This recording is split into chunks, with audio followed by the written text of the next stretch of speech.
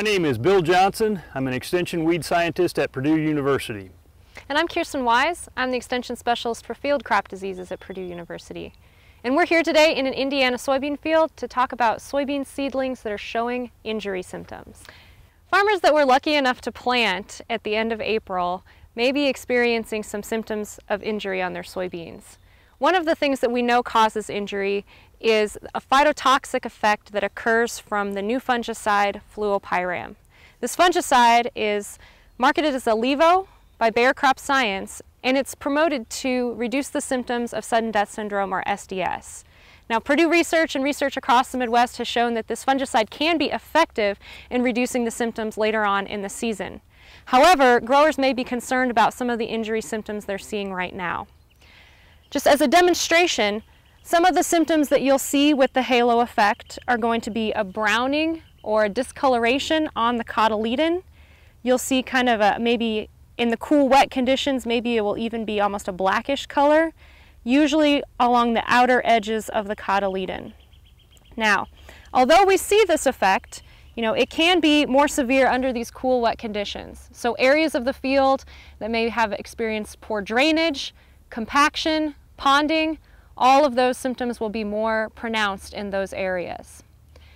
Another thing that we're seeing is that fields that would have an application of a pre-emergence herbicide and were planted with seed that were treated with ILeVO may experience more severe symptoms.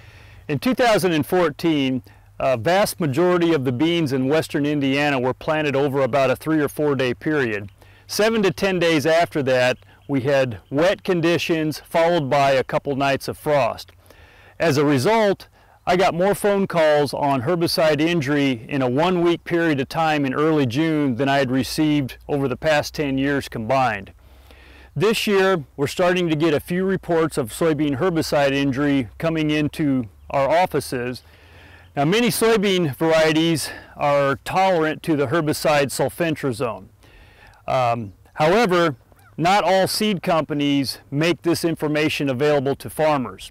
Sulfentrazone or the authority-containing herbicides are very valuable herbicides for control of small-seeded broadleaf weeds, and so they're very popular for Midwest soybean production. However, they do have injury potential. Typically when we see injury from sulfentrazone, we have a soybean variety that's sensitive to it, or we have a situation where the beans are in the crook stage and a splashing rain is received and sulfentrazone is washed up on the foliage of the plant. Now what I want to show you here is a situation where we had beans planted about three weeks ago. Uh, the beans did not emerge for about 10 days due to cool conditions. However, we did not have a splashing rainfall event, nor do we have a soybean variety that's sensitive to sulfentrazone. And so if you take a look at the two rows on either side of me, you'll notice these rows don't show injury symptoms.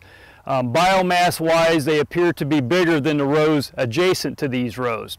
So even though we had a, a herbicide with some injury potential, sprayed under conditions in which we had cool, wet soil conditions, we didn't have the perfect storm of a sensitive variety and a hard splashing rain occurring with this as well.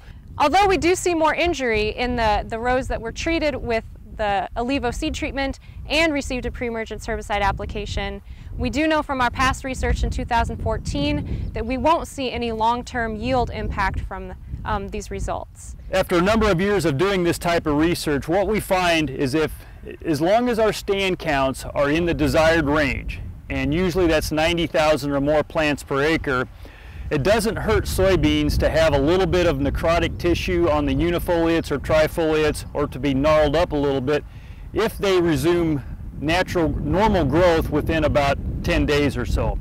So I think it's, it's very crucial to assess your stand when assessing herbicide damage and based on what Kiersten said earlier, uh, it appears like the same situation is, is true for the ILeVO treated plots in that as long as your stand is okay, um, soybean yield should not be impacted.